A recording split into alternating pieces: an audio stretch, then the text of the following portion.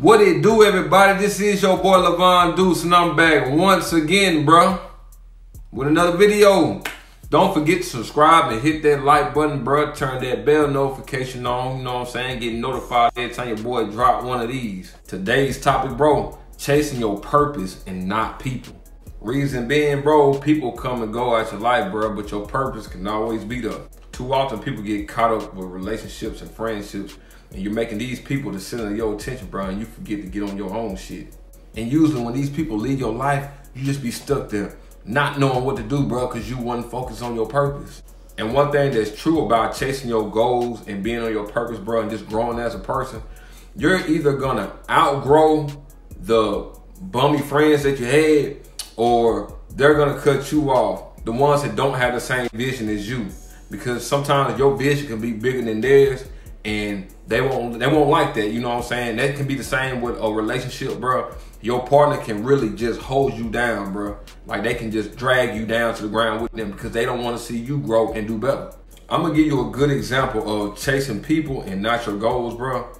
You ever sat back and told a group of your friends that you want to do something great or you had this great idea and they either laughed it off like it was a joke or discourage you somehow or try to tell, try to tell you that it was um, impossible to do, and you kind of just brushed it off, and then y'all just sat back around and not doing anything.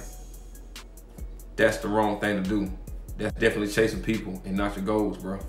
Family members, friendships, your partner, anybody that's holding you back from becoming a better person, you gotta cut them off. Do not chase these people, man. Do not sacrifice your dreams and your goals just for the sake of family or the sake of a relationship or the sake of your friendship, man. I never met. It's a reason why millionaires usually cut off they bummy friends, man. Like let that sink in. When you chasing your goals and being yourself, for the ones that believe in you, they gonna stick right there beside you, man. You know what I'm saying? And they're gonna push you as far as the ones that want to walk away or you outgrow them, let them people be. Because as long as you're chasing your goals and you being yourself, you're gonna attract new people and the right people to come into your life. You know, you're gonna grow with new people. Like that's just like the next levels. And sometimes, you know, with different levels, you gotta lead people down here to make it to this level, you know what I'm saying? Or you can have that stupid crab in a bucket mentality type thing, and we all can just be sitting down here at level one. Nah. We all want health, wealth, and happiness, bro. And life ain't fair because it's a lot of people that sacrifice more than they should for folks that one did half of it for them. Don't be that type of person because people on the outside, you do got energy suckers, bro. And they will drain you, bro. Physically, mentally, spiritually, emotionally. They'll drain you just so they can try to make it to the next level. And bro, they'll leave you there in the dust, man.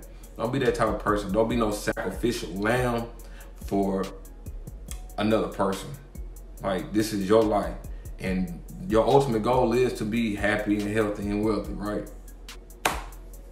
Appreciate y'all tuning in to this video, bro. I know this was kind of quick, but I just wanted to kind of drop this one on out there. Don't forget to like it, share it if you could, and I'll see you next time.